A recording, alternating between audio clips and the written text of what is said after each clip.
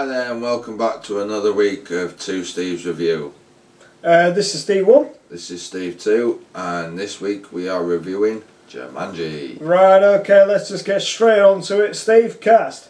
Right, our first person is Robbie Williams. Uh, well, Robin Williams, you know what I mean? It's just like, hey, a little bit here, here's a bottle, like, hey, here's his head, you know, bottle on top of the head, yeah, yeah, yeah, yeah, yeah, yeah. Right, that's okay, that's just Robin Williams. Uh, he is a well-known stand-up comedian, and also he's done a certain set of great films, especially with this era at the time. Well, we've got Goodwill Hunting. Awesome. We've got Mrs. Doubtfire. You look like a Do it like a lady. lady. And then we've got Good Morning Vietnam. Fucking Fucking awesome. awesome. So yeah, that's all good. Who we got next, Steve? Then we've got the young Kirsten Dunst. Well, okay. So uh, at this point, she is quite a decorated young actress. As a child actress, she's like had seven movies before. So yeah, she's in a wheelhouse at the moment. But she's most well known for those god awful Spider-Man films. Here we go again. Right. Okay. Yeah. Right. They're just awful, Steve. You've got to do it right. He's Just get on- Spider-Man. Don't even go there. Just get on with the plot, mate. Okay, uh, plot we've got is uh, it's 1969. Two little, like a little boy finds a board game, like been bullied a little bit, wants to run away, and uh, after that, like um, his best friend comes round, and uh, they decide to play a board game, and uh, things take a little bit of a turn for the worst, and he gets sucked into the board board game, Ouch. and then uh, 26 years later. When it's Hell. 1995, yeah, yeah. Fuck me. That was a good year. Yeah. Yeah, but True. anyway, yeah, right. As Back we were to, saying, back, back to the storyline. yeah, as we were saying, like um, it comes down to 1995. Two other kids find the game and decide that they're going to play this game, and uh, they roll the dice, and uh, magically pops out Robin Williams, and uh, all hijinks ensues from there.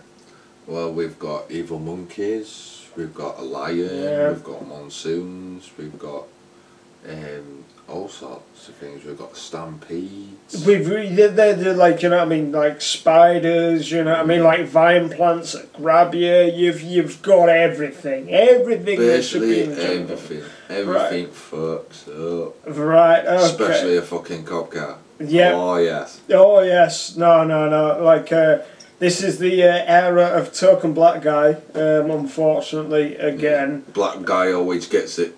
yep and uh, this time round like he's shot on from the Empire State Building Yeah. yeah pretty bad pretty Is- bad His police car gets fucked up, and it still works. hmm yeah Hollywood physics Yeah. gotta love them. Yeah. So yeah, can't go wrong. So what is your favourite bit of the film? Steve? Well, my favourite bit of the film is when the hunter gets released, ah and he's called Van Pelt, Van Pelt. and he's after Robin Williams. Ah, He's yes. To hunt him down. What was that famous line he says? Oh, blast! Blast. Blast! Oh yes, indeed, indeed. So, what, what's your favourite scene then? My favourite scenes have to be uh, generally the monkeys, my fellow brethren. You know, I mean, peace. You know, I love my monkeys, um, especially in this because all they're doing is just like nicking stuff and uh, just being cheeky little bastards. To be honest with you. And they fought the law, and the law lost. Yes, they did lose. so, They lost big style. big style. Yeah. Yeah. so that's good. So, uh, what's the final thoughts? Well, my final thoughts is I I do quite like it because it's there. It's comic. Yeah, It's a kids' film, and my rating I give it an eight and a half out of ten. I'm giving it an eight and a half out of Yeah. ten. You keep on staying on that number every week, Steve. Come on, come on, digress. to give it, give it either an eight or a nine.